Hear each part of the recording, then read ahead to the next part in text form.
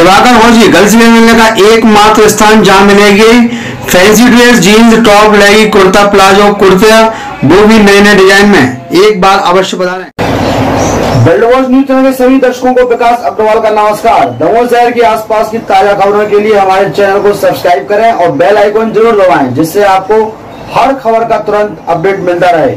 आइए नज़र डालते हैं बड़ी खबर पर।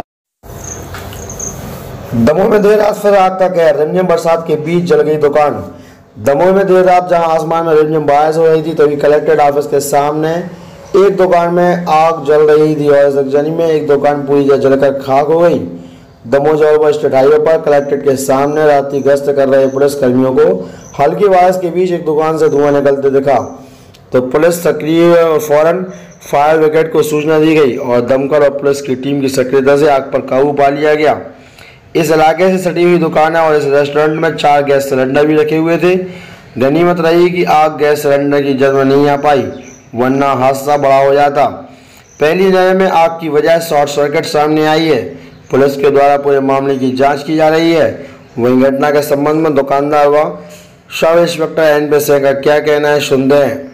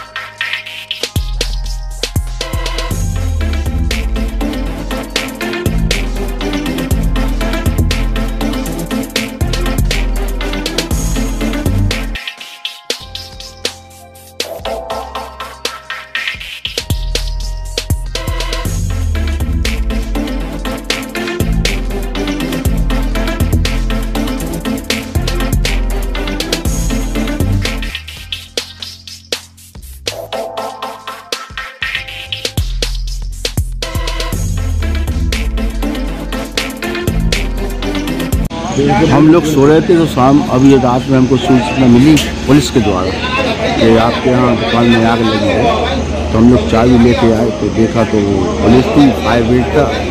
सब लोग की मदद से दुकान खोली हमने तो देखा कि पूरा आग लगी, पूरा सामान हमारा नष्ट हो गया है। वो कम से कम पचास के ऊपर और एक के अंदर ऐसा नुकसान हुआ है, हमारा साठ सत्तर, अस्सी हज़ार। क्या लगता है कैसे आग लगी है?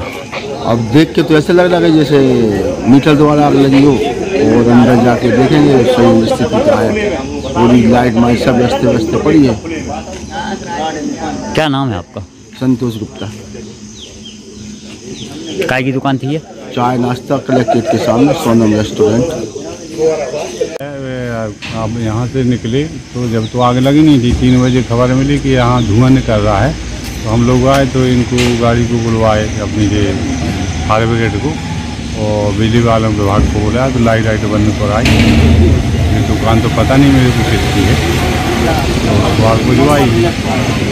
अखबार को हो सकता है लाइट की वजह से साथ का साथ सकते क्या कैसा नुकसान हुआ है अब अंदर तो मेरे को पता नहीं है कितना नुकसान हुआ उनका पचास हज़ार कम से कम वो वही दुकानदार बता सकते हैं। एक के बीच में पचास एक के बीच में लगभग। दुकानदार वही बता सकते हैं उनका क्या चला क्या नहीं चला। अब क्या स्थिति है?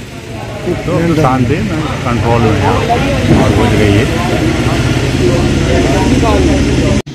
रात में लगभग दो ढाई बजे पुलिस का फ़ोन आया कि आगी लगी है तो पुलिस की संयुक्त दोनों टीमें कोतवाली और जबलपुर नाका का चौकी द्वारा फ़ोन पहुँचे घर पे कि आपकी दुकान में आगी लगी है हम लोग मौके पे पहुँचे तो आगी हो जल रही थी। बाजी वाली दुकान बाजी में आगी थी। लल्लन लल्लन चाय पान भंडार थे।